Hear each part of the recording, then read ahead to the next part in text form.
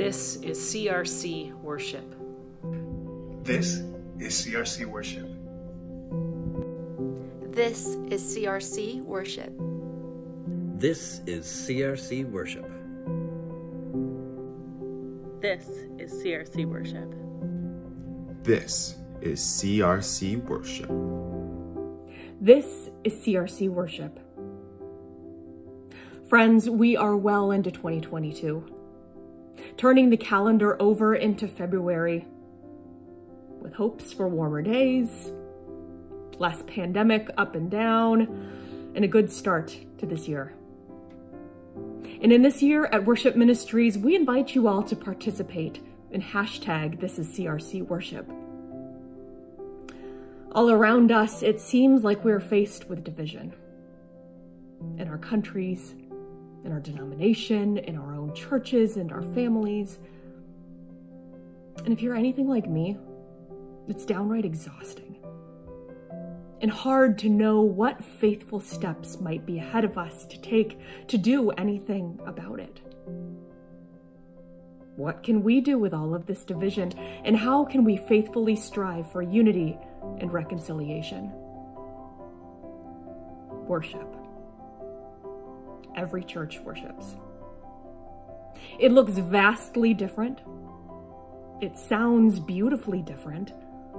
It's done in different locations, in different languages, different times, different ways.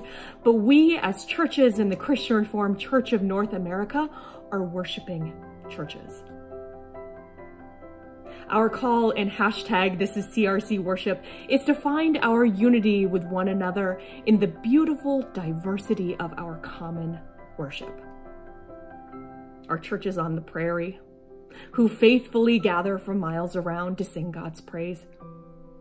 This is CRC worship. The church in a downtown storefront where members walk in from the neighborhood and off of the streets.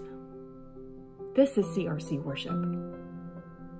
The church in the suburbs that come together for worship and for word. This is CRC worship. House churches, outdoor churches, backyard churches, all of this is CRC worship. What does worship look like in your context? As we live into this vision for the CRC, we invite you to join us. Show us what it looks like in your context and tag hashtag this is CRC worship. You're driving home after church and marveling at the ways that God worked in mighty and wonderful ways in your worship that week? Share and tag. Friends, this is an opportunity for us as worship leaders to take a faithful step, to marvel at the diversity of worship, to proclaim the ways that God is working in our churches, and to draw us together in unity as we each week come together to do the same thing. In worship of the same God, but not in the same ways. This is CRC worship.